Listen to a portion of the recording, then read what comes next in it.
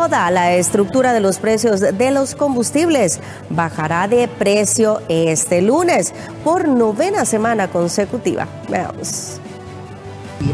No así las gasolinas que al ser este el último fin de semana que se considera parte del verano en Estados Unidos especialmente, la demanda de las gasolinas comienza a bajar para entre en los, en los próximos meses y eso nos ayuda a que el precio de la gasolina pues esté reflejando una rebaja en este momento y que probablemente continúe con una tendencia similar en los próximos meses. Adicionalmente, el precio del crudo esta semana eh, ha mostrado una caída en el precio, eh, principalmente afectado por eh, los temores de la recesión que pueden venir en los meses eh, futuros a raíz de los altos precios en los eh, precios de los carburantes a nivel internacional.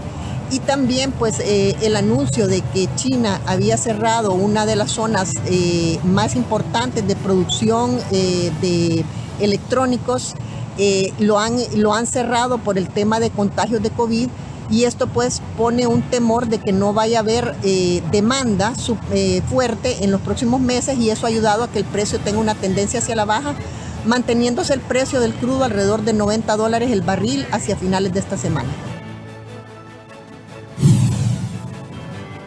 Bien, y siempre en este mismo tema daré lectura a continuación los precios de los combustibles que estarán precisamente tanto en Tegucigalpa como en la ciudad industrial de San Pedro Sula. Y es que la gasolina super, el precio anterior oscila a 114.51 y su nuevo precio es de 112.95. Por otro lado, la gasolina regular, eh, su precio anterior era de 104.73 y su nuevo precio es de 102. 46. Mientras tanto, el diésel 113.06, su precio anterior, y el actual a 113.91. El queroseno a 100 lempiras.92, el precio anterior, y el actual a 101.20. El gas doméstico 238.13, este se mantiene desde hace varias semanas. Y finalmente el gas vehicular a 53.08 y su nuevo precio es 53.02. Esto en la ciudad eh, de Tegucigalpa. Por otro lado, pasamos rápidamente a darle lectura a los precios de los combustibles de la ciudad industrial de San Pedro Sula. Y es que la gasolina superior, su precio anterior era de 112.18 y su precio actual es de 110.74 lempiras. Bastante significativo la baja que ha obtenido a partir del día de mañana.